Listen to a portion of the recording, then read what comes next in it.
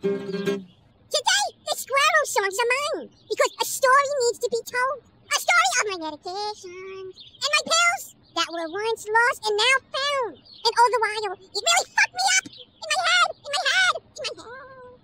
So here now, the songs in your head, played by the lady with the purple hair and silly nose ring. Begin with the strumming.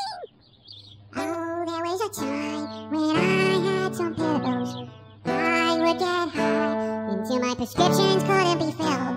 So they shoved it away. We have no pills this day. And I'm living in reality.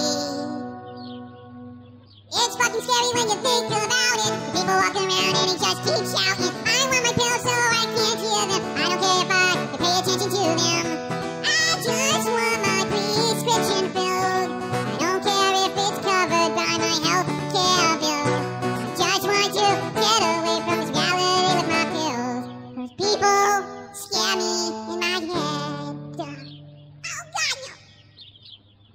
And so, my prescriptions couldn't be filled. And what a bitter squirrel I became without my Yoda. And all the while, people around me, pill popping plentiful prescriptions and not sharing, not sharing. Jealous was I. And so, a song came from the drudgeless rage of my kidney. Oh jeez.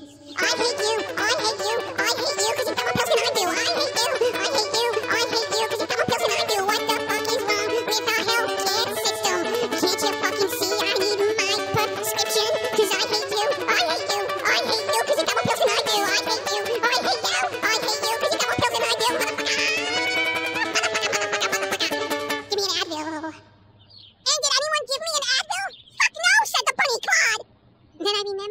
Oh, Canada, your drugs are cheaper than ours are. And I got some stamps and took most of Purple Hair Lady's money and whisked it away to Canada for prescribed goodness.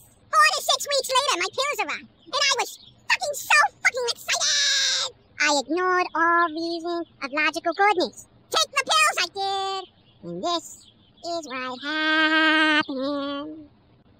Oh, jeez, I think I saw Elvis. Jeez, I think it was a side effect my me- medication. And it wasn't on the back of the bottle of the pills. So I'm seeing Elvis in my refrigerator.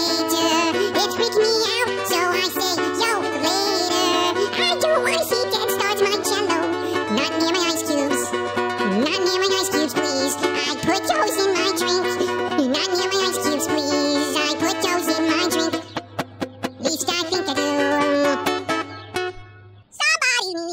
to give me some pills because I've been singing all day.